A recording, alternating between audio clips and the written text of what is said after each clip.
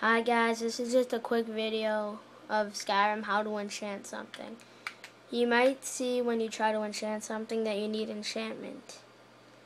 Well, first of all, you need you're gonna when you how to get enchantment, you hit you go to disenchant and you want to disenchant something. Like I already disenchanted something, so I have I can enchant. And once you disenchant somebody, some weapon, sorry, you automatically get the thing that that had forever. So uh, my dwarven sword had the fire damage, which burns the target for 10 points.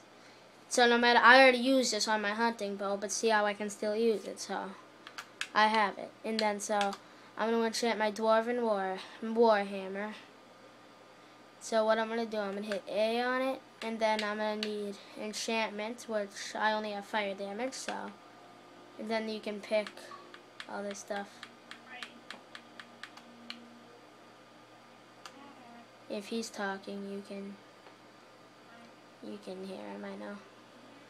And then so just select fire damage. Then you're gonna need a soul gem or whatever kind of soul gem you want. I have a lot of them. Then so just pick a soul gem and just hit rename item. Uh,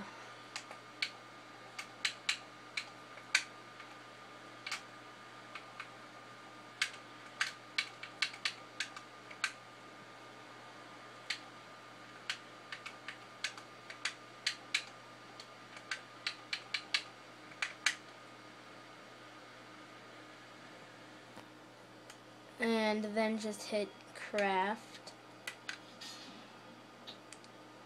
Then my enchanting was increased, and now that's enchanted. Mm, and wait a minute, my friend just texted me, so... Now all I have to do is... Now what I have to do, well, you don't have to do anything now, but that's enchanted. Let me just find it and see how it's enchanted now. That's just a quick video on how to enchant.